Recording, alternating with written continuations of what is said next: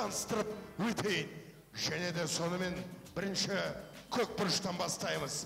Дамы и господа позвольте вам представить бойца қолғаптың ішкі жағымен ұруға үзілді кесілді тыйым салынған. 23 года рост 189 сонымен 27 жасар ә, грузин спортшысы ромель мехтиев рекординг 13 өзінің қазақстандық қарсыласы ғалымжан қанаевқа қарсы шығуға дайын. Екеуінің де 13 мәрте жеңіске жеткенін көріп отырсыздар. Тек грузин спортшы үш рет жеңілге жеңіліске ұшыраған екен. Представитель Грузии Рома Мехтиев және оның қарсыласы қазақстандық спортшы ғалымжан қанаев. Октагондағы қызыл бұрыштағы жауынгерді таныстырып өтейін. Ғалымжан он төрт жекпе жек өткізіп тек соның біреуінде ғана жеңілген. Екеуінің салмағы сондай ақ жалпы дене тұрқы бір бірлеріне қарайлас тек біздің спортшымыз сәл бойы биік болғандықтан да әрине қорғанысқа жеңілдеу болады деген ойдамыз. Клубының өкілі қазақстан. Шырайлы шым қаланың өкілі ғылымжан қанаев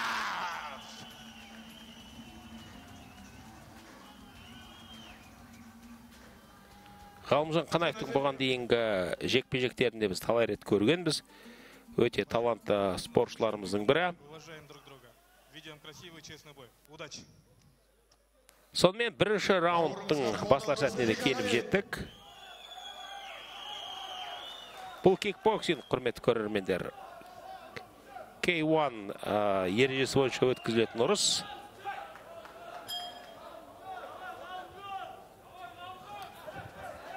Ал ғалымжан қанаевтың бұған дейінгі өткізген жекпе жегінде біз сіздермен естеріңізге сала кетеміз талай рет көргенбіз.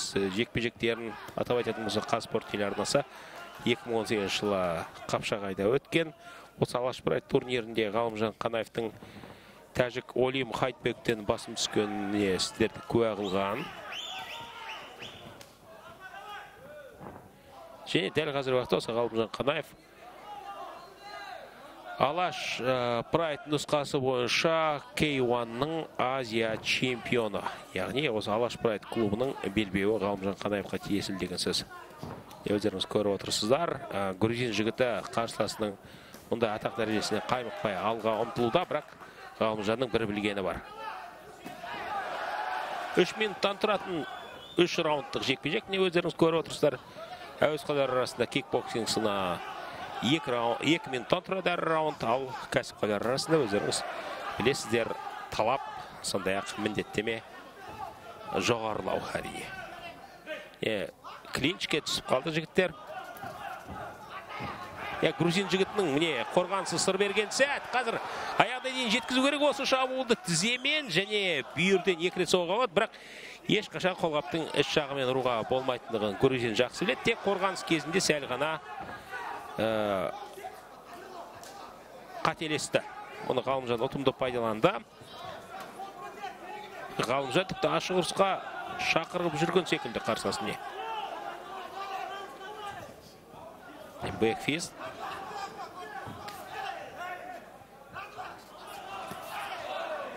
Апперкот ғалымжан негізінде бокстан бастаған. Және бұл бірден байқалады. Мектебінің жақсы екендігі. 27 жасар шымкенттік. Міне кеудеден өте ауыр соққы және грузин үшін бұл жекпе жек аяқталған секілді. Иә айттық қой бұл біздің ғалымжан деп. Біздің ғалымжан өзінің грузиядан келген қарсыласы рамил мехтиевті бірінші раундта тізе бүктірді өте мықты жігіт екендігін көріп тұрмыз. Грузиннің бірақ та ғалымжанмен бәсекелесу үшін грузинге әлі көп еңбектену қажет жасы 22-де ал ғалымжанның жасы 27-де деп айттық қой. Және 27 жасына шейін біздің ғалымжан талай жекпе жектерге қатысып талай мықтыны тізе бүктірген қазір ә, рамильге дәрігерлер аз кем ә, көмек көрсетсін. Өте керемет өткен жекпе жек ризамыз біз өзіміздің бауырымызға және грузиннің де табандылығына лайықты бағасын береміз. Жақсы дайындалып келіпті. Тіпті бірнеше жақсы шабуыл ұйымдастырды бірақ мықтының аты мықты Итак, закончился этот поединок весьма быстро, скоротечно, но весьма зрелищно запровел этот поединок Галамджан Ханаев. Напомню, что он в 2018 году на турнире Алаш Прайд, который проходил в Копчегае, стал чемпионом Азии по К1 по версии Алаш Прайда. И, возможно, считать этот поединок успешной защитой пояса. Да, очень здорово провел поединок. Это было весьма-весьма технично со стороны Галамжана Канаева. Напомню, что он является уроженцем города Шимкент. құрметті ханымдар мен мырзалар қуан қазақ елім екінші минут пен оныншы секундта нокаутпен жеңіске жеткен ғалымжан қанаев шымкент қазақстан Да, прекрасное выступление для менеджері Канаева. гусейнов Улучшает свой рекорд до 14 побед. А вот Рамиль Мехтиев терпит четвертое поражение в карьере. Жусупов Багдад, президент бойцовского клуба «Арас».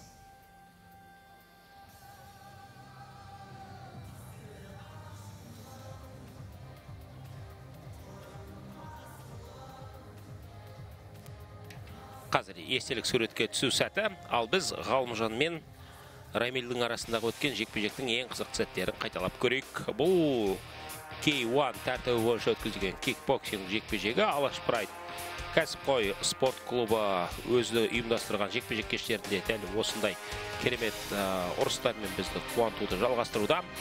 Ғалымжан қанаев бұл жекпе жектің жеңімпазы.